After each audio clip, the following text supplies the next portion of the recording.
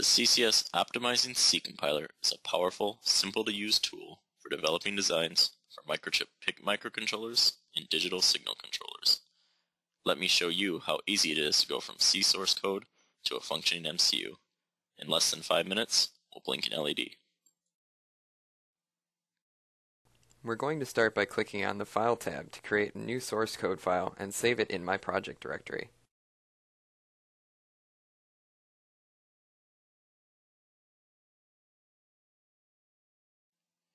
A basic and key element of the CCS compiler is the device-specific header files that simplify the task of initializing the microcontroller. The header file is pulled into the design by the include statement at the top of the source code file. The header file also tells the compiler to perform device-specific optimizations for the 16F877A, taking into account hardware details such as ROM and RAM size, stack size, and instruction queue. By performing optimization at the family and subfamily level, CCS is able to create much more efficient code than compilers that just perform generic optimizations for PIC devices. The use statement specifies the oscillator clock frequency. The value specified for the clock frequency will be used by the compiler later when built-in delay functions are called.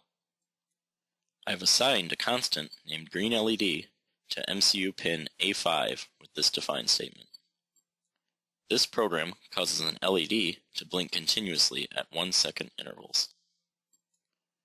First, I'll create an infinite loop, then make four calls to CCS provided built-in functions to blink the LED on and off. The first function call turns the LED on.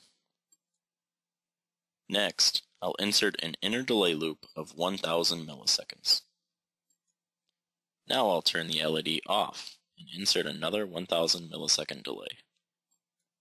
You can see how CCS provided built-in functions speed up software development by allowing you to concentrate on design functionality instead of having to become an MCU architecture expert. The delay millisecond function works by executing the precise number of instructions to cause the requested delay. The compiler uses the clock frequency and delay you specified to calculate the number of instructions for you relieving you of that tedious and error-prone task.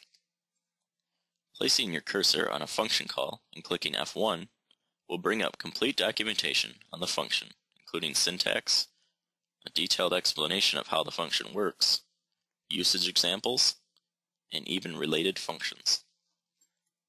CCS provides over 300 built-in functions, including those for I.O., string handling, hardware-specific functions, even capacitive touch sensing, all with documentation and usage examples just a mouse click away. Notice that the COware text editor makes it easy to create and read C source code. You're now on your way to creating your own library of functions. This source file can be called by any other program you write when you want to blink an LED.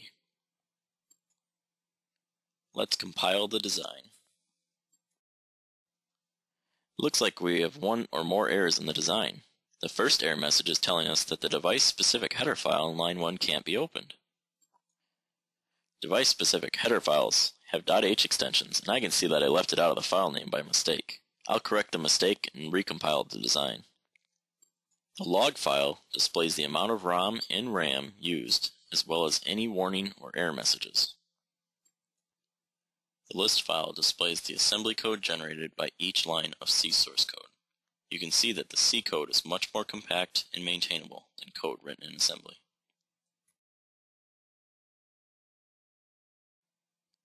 It's time to program the device.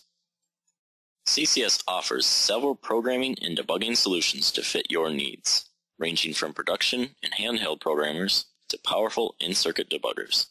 In this demo, I'm going to use our ICD-U64 debugger to program the device. Connect the ICD to the target board in your PC's USB port. Then, power up the target board. The IDE will call the CCS Load software to program the chip. CCS Load can also be used standalone without the compiler. You can see that the LED is blinking on and off at 1 second intervals. Let's double the blink rate. I'm going to change the delay value to 500 milliseconds, then recompile and reprogram the device.